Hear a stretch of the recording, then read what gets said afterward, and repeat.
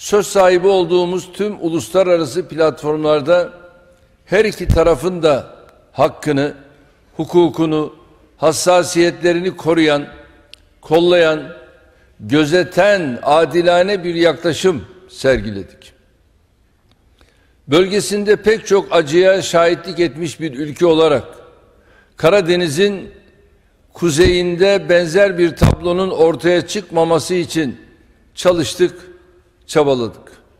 Türkiye olarak barış ve istikrar için bölgemizde ve ötesinde sorumluluk üstlenmekten hiçbir zaman kaçınmadık, kaçınmayız. Adil bir barışın kaybedeni olmayacağına inanıyoruz. Çatışmanın uzaması hiç kimsenin yararına değildir. Ölen her insan, yıkılan her bina, refah yolunda harcanması gerekirken havaya savrulan, toprağa gömülen her kaynak, ortak geleceğimizden kopartılan bir değerdir. Bu trajediyi durdurmak tarafların elindedir. Bir an önce ateşkesin ve barışın sağlanması herkesin faydasına olacaktır. Artık görüşmelerden somut sonuçların alınması gereken bir döneme girdiğimizi düşünüyoruz.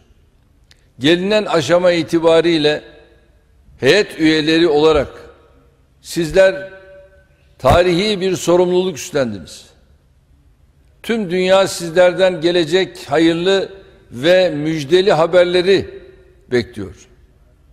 Liderlerinizin yönlendirmesiyle barışın temelini atıyorsunuz.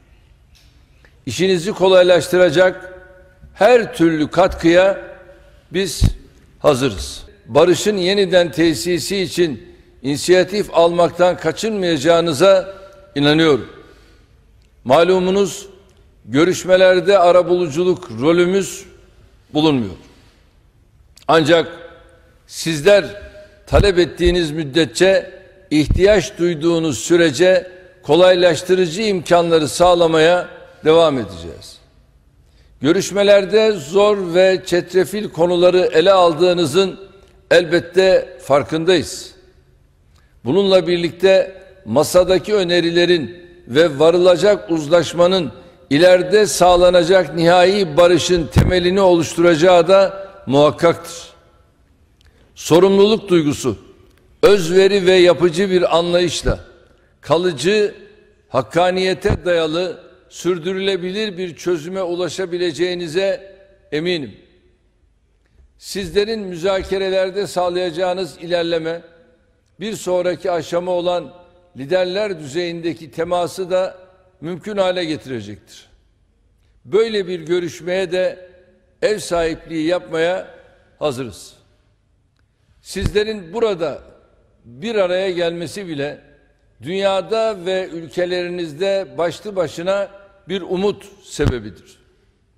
Barışa giden yoldaki gayretlerinizin hayırlı neticelere dönüşmesini temenni ediyorum.